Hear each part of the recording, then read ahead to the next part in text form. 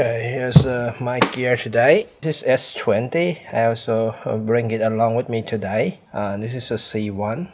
I didn't use the S20 for uh, today's scanning because it's 200 grams heavier. I need the lightest gear possible. Uh, number two, the S20, uh, the file size from the camera, it's 16 megapixel, so it a larger storage space. I need to share the point cloud to my customer, so prefer the C1. I cannot use the GPS inside of the factory. It's covered with the steel structure. The C1 will perform as good as the S20 in this case, and tracking performance is the same. Uh, in my back here, this is uh, full of dust.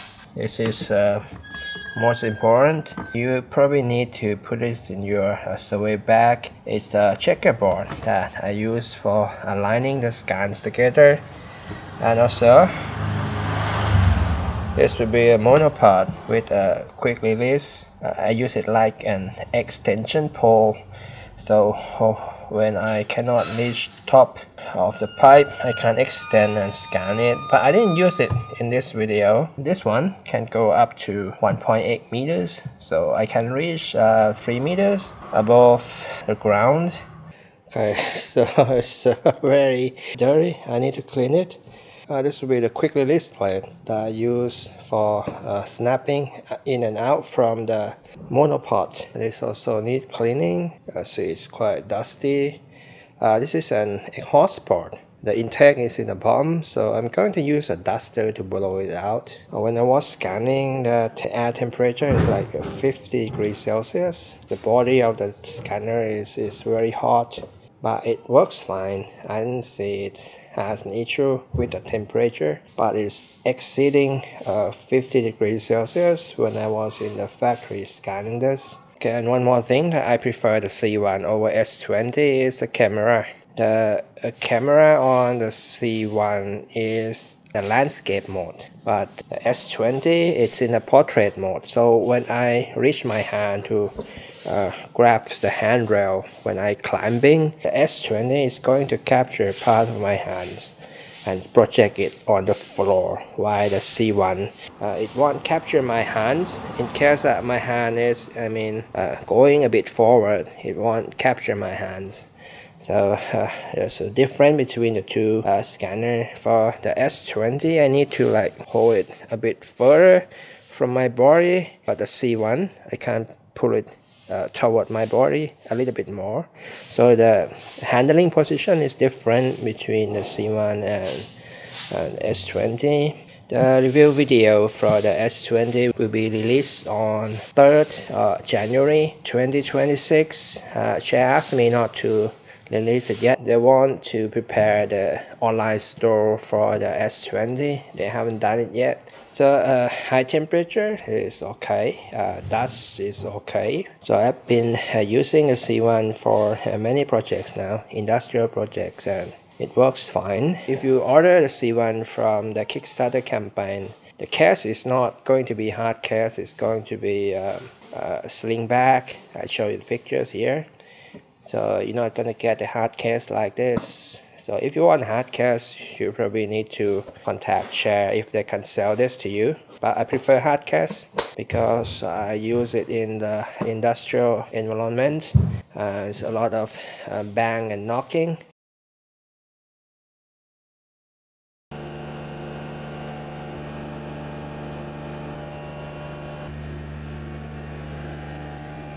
So I'm going to split the scan into two loops because I cannot complete uh, all the scan in just one single scan. It would take too long, longer than 20 minutes. And this will be the beginning of the pipe route, the green one. Uh, the customer want to replace it and the replacement pipe will be prefabricated from the factory so they need precision uh, measurement of the existing pipe. The pipes run through uh, several floors on this building and it's go across to another building. Now I'm coming up to the second floor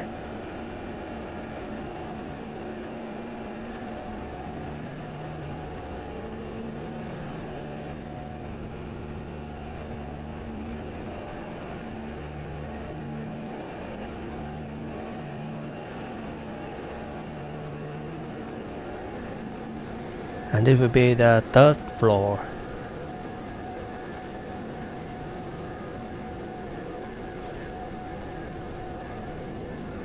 The bike is going to exit this building in this location and it will go across to another building that I will split in the second scan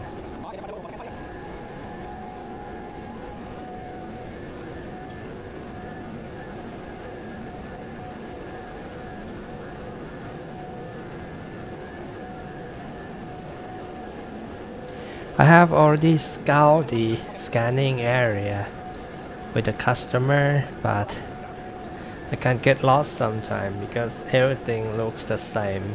When you lost you will unnecessarily waste the scanning time.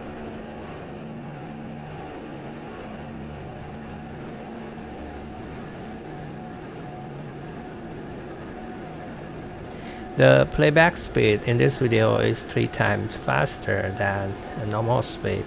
My walking speed is somewhere around 0.8 to 1 meters per second.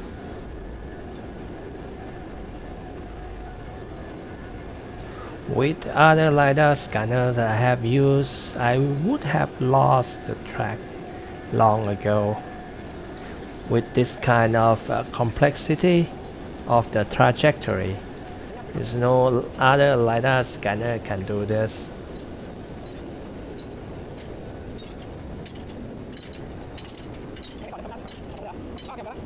This will be the end of the scan where I place four checkerboard on the floor for alignment. So I need to capture the checkerboard as much as I can. It's going to be an overlap area. Now I'm returning to the starting point for loop closure.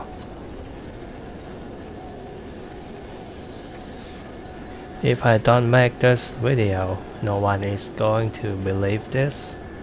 Uh, tracking performance from the, the C1.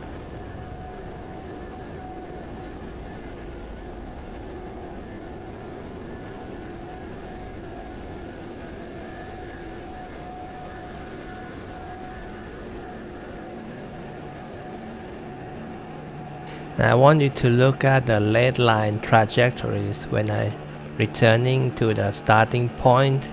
You will be surprised. 350 meters of the travel distance and the starting and the end point. You see this? It's matched perfectly like less than one centimeter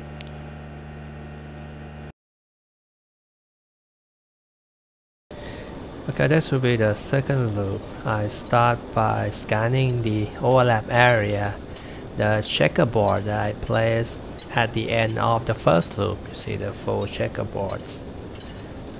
Disclaimer, safety always come first. I have a spotter walking behind me all the time when I was scanning this. And always put on your safety gear. Uh, this is the furnace area, so the temperature is very high. In some location, it's like 50 degrees Celsius. With this temperature, it can cause the lithium batteries to swallow. But the C1 battery is still working okay. I haven't used it that long to prove the durability of the battery yet but one battery is quite enough for a full day of working with the C1. On another hand, the S20 consumes uh, much higher power because it has a larger uh, resolution camera and also uh, when I turn on the GPS receiver it's going to take up uh, more power than the C1 and you may need two batteries for the S20 but not the C1.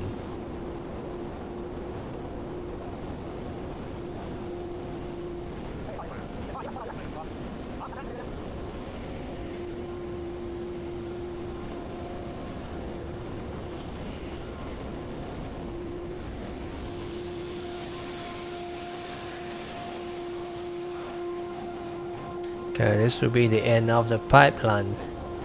The pipe will end here.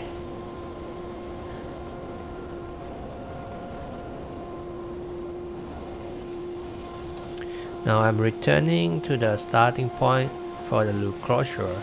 So it's 6 minutes until I get here, so it should take less than 6 minutes when I'm walking back. I'm trying to keep the scanning time under 20 minutes for each scan loop because I don't want to uh, have too much point cloud number in just one single scan. Uh, this scan can take up to uh, 100 million point clouds and it will be slower to work with uh, when you work with a larger amount of the point cloud at one time. And I want you to look at the trajectories when I place the scanner or the starting point, the lead line trajectories.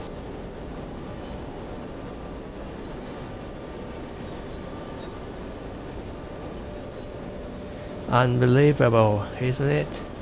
The end and start match again without using the SLAM algorithm.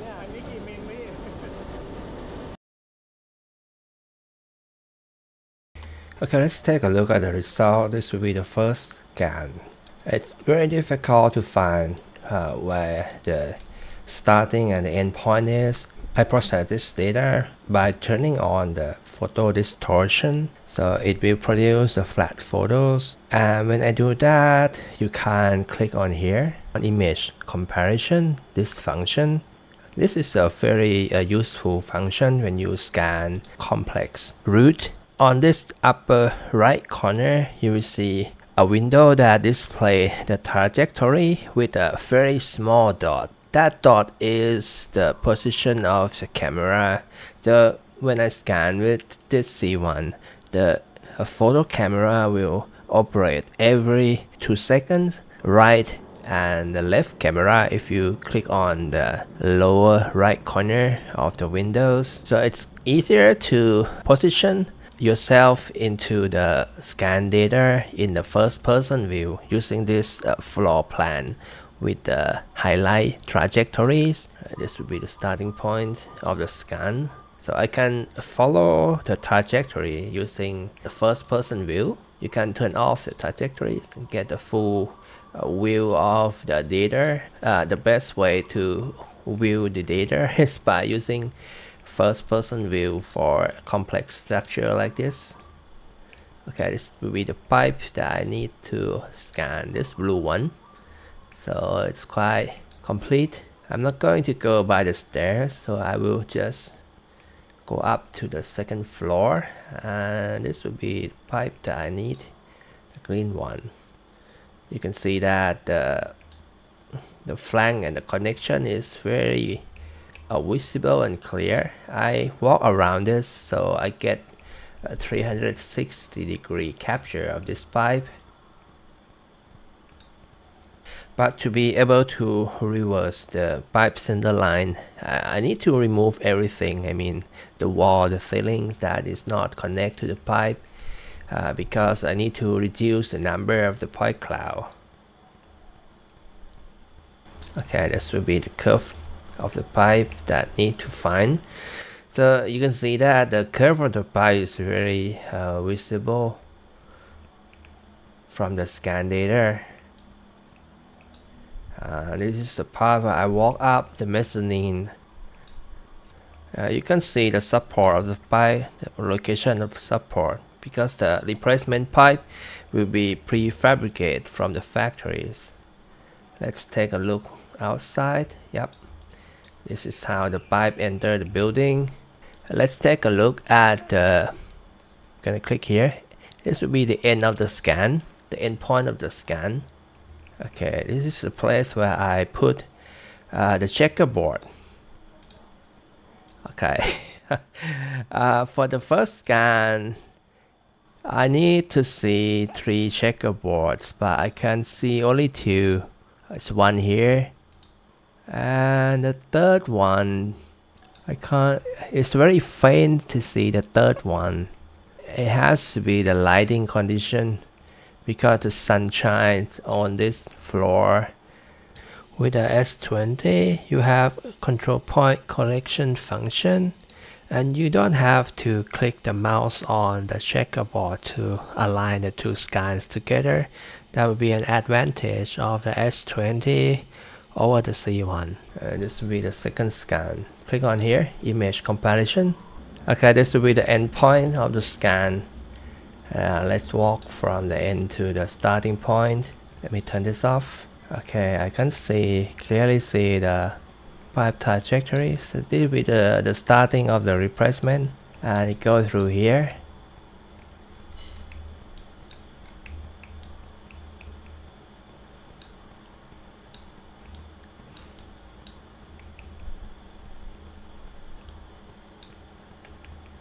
Okay, I can clearly see it. I still can track it. Okay, now the pipe's going here onto this side. Okay, as I can track it. Okay, the pipeline still visible, still visible.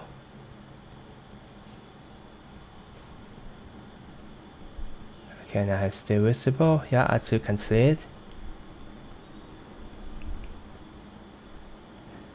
Okay, the pipeline is still visible. Is This is pipe on the left.